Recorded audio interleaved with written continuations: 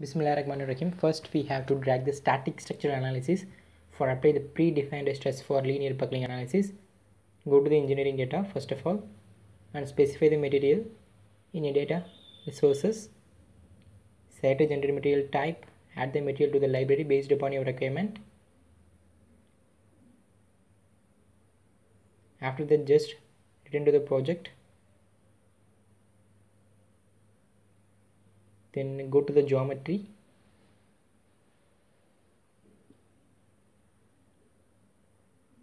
New model window is open.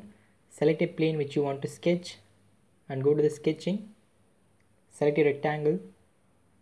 Draw a rectangle. Then draw a circles at both ends for the required dimensions.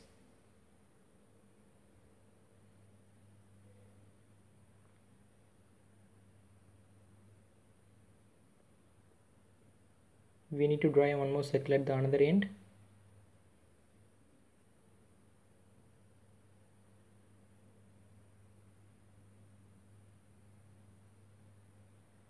After that just extrude the component for the required amount of depth. At last click the generate. Now the part is created. Then select the corresponding face which you want to sketch. For make a second part.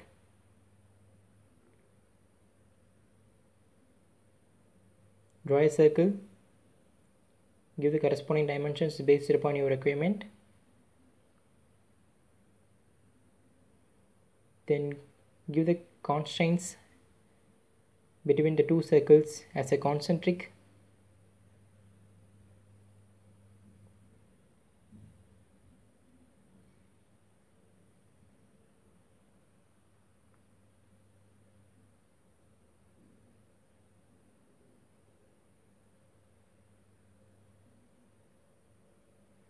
the constraints cannot be applied so we have to try any different way. Just delete the sketch then try it from first. Go to the modeling delete a circle which we draw previously. Then again select the corresponding faces. Then draw a circle again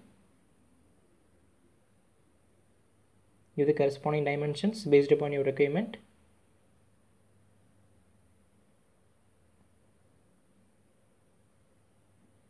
Then just click extrude. Make sure you have to make a reverse direction and then operation by add frozen. After that just click generate. Now the frozen material is created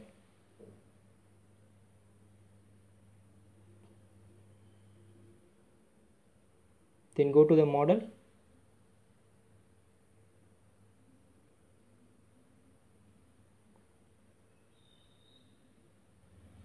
Just select a geometry in a project tree.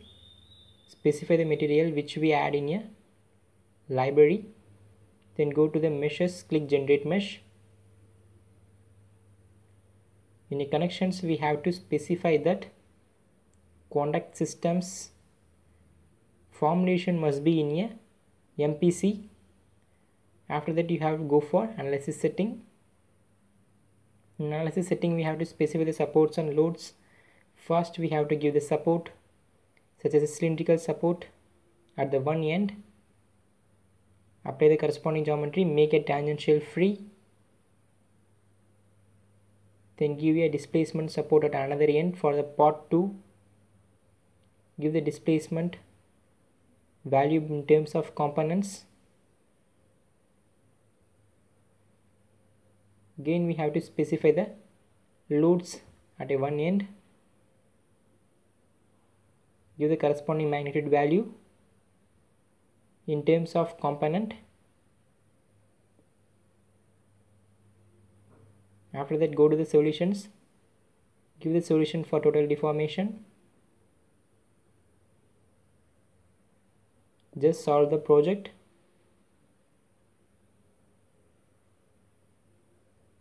Now the result is successfully created. Just you have to drag the linear buckling analysis to the solution of static structural analysis then go to the setup.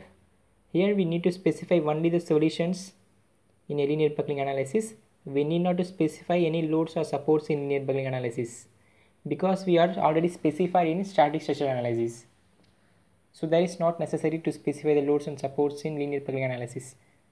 Just we have to play the animation video of the result in linear buckling analysis. Give the more number of total deformations and specify the number of mode value in analysis setting of linear buckling we have to specify the mode value as 3 and then we have a 3 deformations total deformation 1 2 and 3 we get a three types of total deformation solutions. Just played with animation video.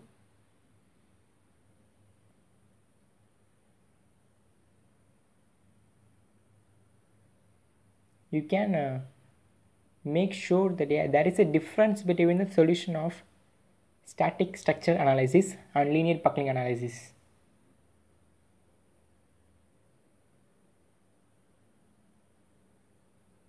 you can play the different solution in linear buckling analysis by the different mode values. To get the regular updates of my video please subscribe in my channel. Don't forget to like and share.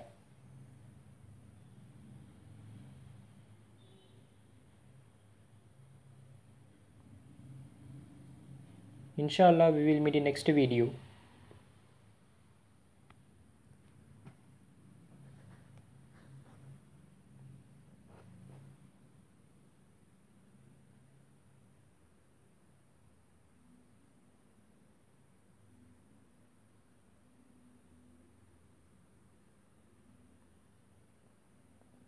Bismillahirrahmanirrahim